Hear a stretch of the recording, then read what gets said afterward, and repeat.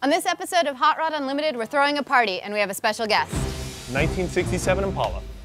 The reason we invited this car is because we want to paint it. It's ugly. It needs help. We're going to attempt to paint this car in one day in a friend's backyard.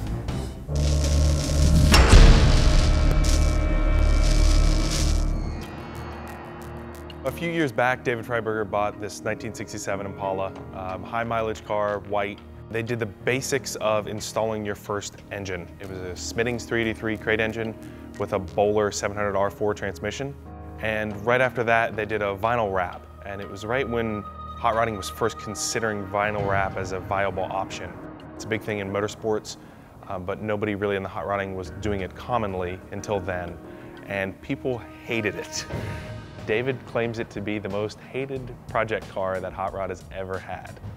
We ripped off all the vinyl. We decided to do something different with the Impala. David sent it down to Pete Santini in Orange County, California to have a professional paint job done.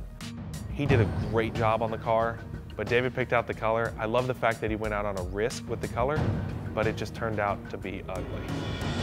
Oh, wow. Oh, dude. Oh, it looks like somebody puked on it. Wow. That is a whole lot of bad. That's what that is. Oh, that is not good. Fail. Yeah, I really didn't get any better with them off. Yeah. After that, David decided to sell it. Um, he was actually getting ready to load it on the trailer and take it to the swap meet. And I said, hey, I've always wanted a convertible 67 Impala is a really cool car. I'll buy it from you. Um, I lowballed him and took him about a week or so before he took me up on the offer, but I did finally buy it. It kind of bred new life into the project car. So somebody said, well, why don't we paint it? And everybody in the room kind of looked around and we couldn't think of a good enough excuse not to, so we decided to do it.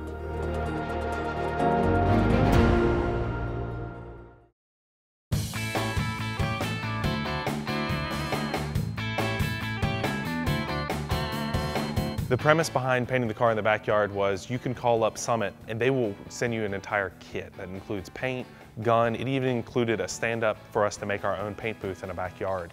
Everything you needed, you don't necessarily need a paint shop. We bought some extra stuff, but the biggest thing for us was manpower. Doing it in such a tight time frame, uh, we made it into a bit of a party to get our buddies there and, and help us. We had the whole Hot Rod staff there, but we also called in Dennis Pittsenbarger with Hot Rod Magazine Live. He's been doing this for several years now, so he was kind of our resident expert. Preparation in a paint job is everything. It doesn't matter how great I am with a gun or how great Jesse might be with a gun. The reality of it is prep is everything in a paint job and every painter will tell you that. We first started with a DA on certain areas and we were block sanding most of the area and we worked our way down until we were to a fine Scotch-Brite pads. When you're sanding, you're really looking for making it dull, making it just enough for the paint to stick to, but you don't want to make marks where the paint will stick inside of a mark or inside of a gash or anything like that. You're basically just looking to dull the gloss down. Luckily, the car had been professionally painted very close to the time frame of when we started working on it. So they had done a lot of the body work.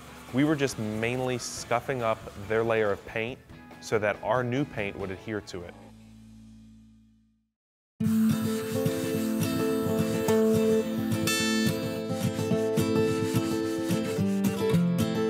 Despite it being Southern California, it decided to rain. The entire reason why I bought the car was because it never rains in Southern California and halfway through our first day, it started raining. Ultimately, it didn't slow us down that much in our prep work. It just meant we went from dry sandpaper to wet sandpaper. Dry sandpaper uses the dust to get off of the paper itself. The wet sandpaper just uses the water to get all the stuff that's coming off with the sandpaper, it goes off into the water and just falls off out of the way. When it starts to rain, it's California. You just go underneath the car and use it as its own little area. Luckily, the rain didn't last too long. The sun came back out and we started using dry sandpaper again.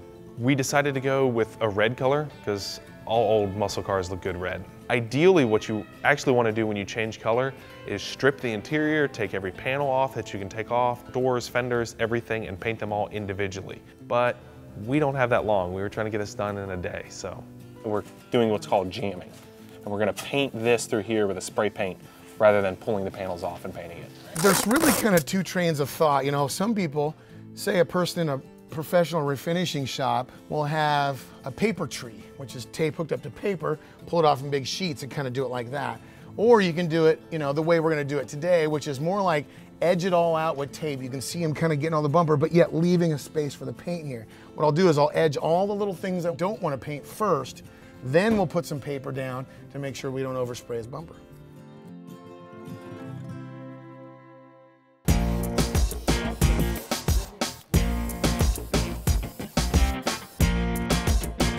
Let that tack off really quick, let it dry, and uh, then I'll hit it with a cover coat and it should be fine.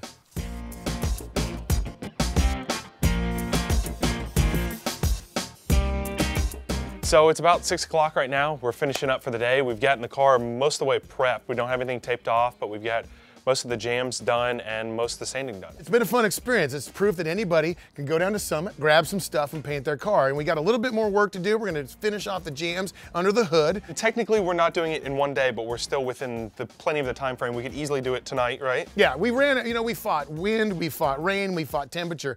And when you paint a car in the cold, the reality is we don't have a $150,000 downdraft. So we don't need hour and a half flash time. So instead of being here until two in the morning, we're going to fast forward till tomorrow and wrap it up.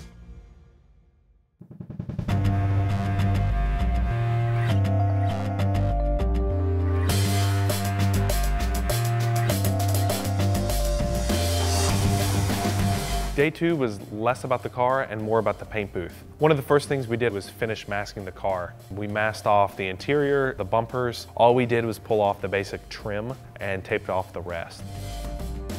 Our biggest enemy in dealing with a backyard paint job is dust and dirt. Brandon was in the paint booth cleaning it out, and then when the paint job was ready, we laid water down, and this was to keep me from kicking up dust as I was painting the car and to keep dust down and out of the paint.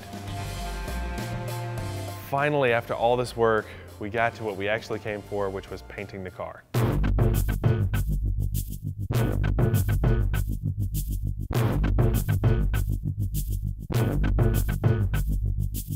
The paint suits were not only to protect our clothes and our body, but they were also to protect the car. It would keep down dust and dirt and grease that's on our body and on our clothes.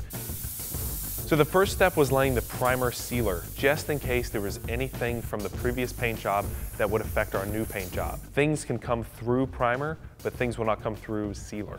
Because of the red color, we wanted to use a lighter color sealer underneath it, so we used a light gray sealer.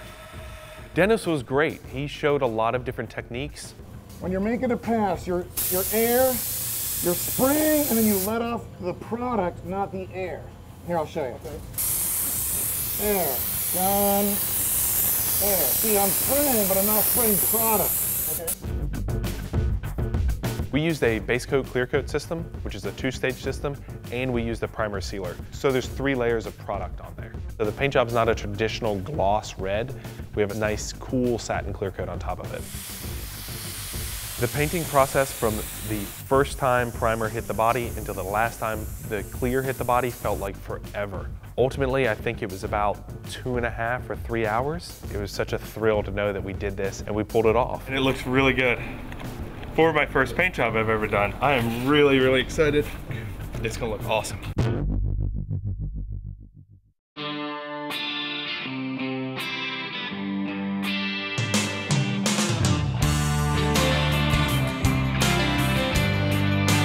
Since finishing the paint job, I can't stop driving it. I absolutely love it, and I'm trying to make it a daily driver. This is no longer a car I just bought. It's a car I drive and I painted. That's pretty cool to pull up and park and shut the door and look back at the car and say, you know what, I painted that. You can follow my blogs at blogs.hotrod.com and I'll show you how I'm trying to make it a daily driver. And what do you guys think? What should we do with this thing next? What would make this car cool? Tell us in the comments below.